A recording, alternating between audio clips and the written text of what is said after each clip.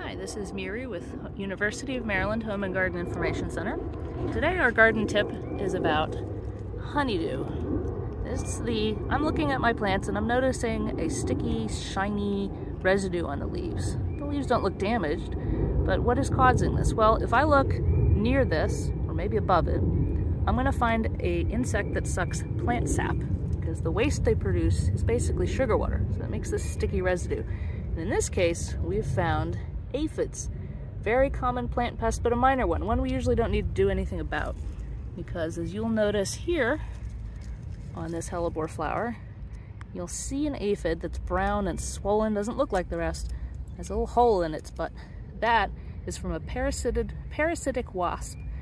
Uh, those little white things are aphid skin, so they're not alive. But when you find these parasitoids at work, these are your these are your helpers. Let them do their job, and the plant will not really suffer.